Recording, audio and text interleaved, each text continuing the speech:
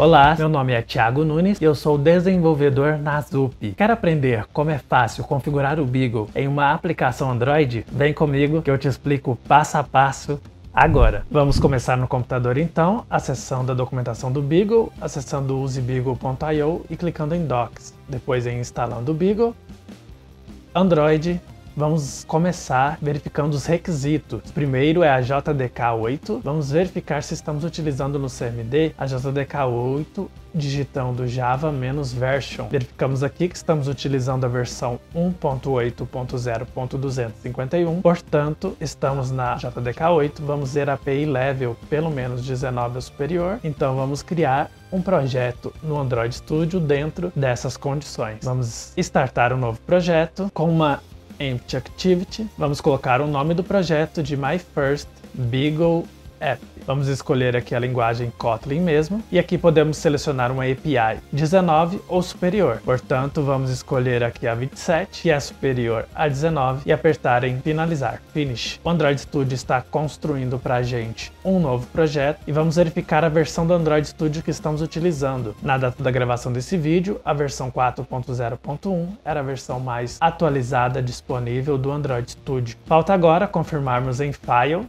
setting. O último requisito, que é o Kotlin, ser a versão 1.3 ou superior. Nós vamos digitar aqui na pesquisa Kotlin e em Languages and Frameworks, clicar novamente em Kotlin e percebermos que estamos utilizando a versão 1.3.72 Portanto, essa versão é superior a 1.3, então serve pra gente. Vamos para o próximo passo. Dentro do arquivo Build Gradle Project, se você quiser usar uma versão antiga do Beagle, você vai colocar Maven com a URL do Bintray. Caso contrário, caso você queira utilizar a versão 1.1.0 ou superior, você basta apenas copiar aqui a parte do Maven Central. Nós vamos lá no arquivo Build Gradle Project.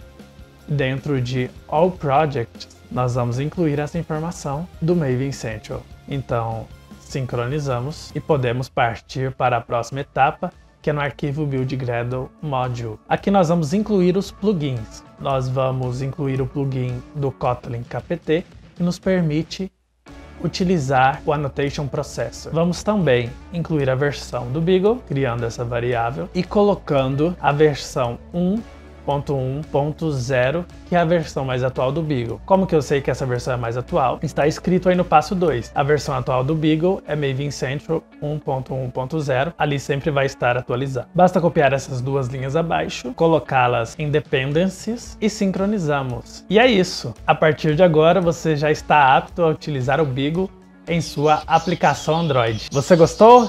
Não é fácil demais? Então não se esqueça sempre de utilizar a versão mais recente do Beagle e também de sincronizar quando você terminar de colocar as dependências. No próximo vídeo, você aprenderá como criar uma tela declarativa usando o Beagle no Android. Curta esse vídeo, assine o nosso canal para ser notificado. Qualquer dúvida, basta deixar escrito abaixo nos comentários. Lembre-se sempre, você pode acessar usebeagle.io para mais informações. Muito obrigado por assistir e até o próximo vídeo. Tchau!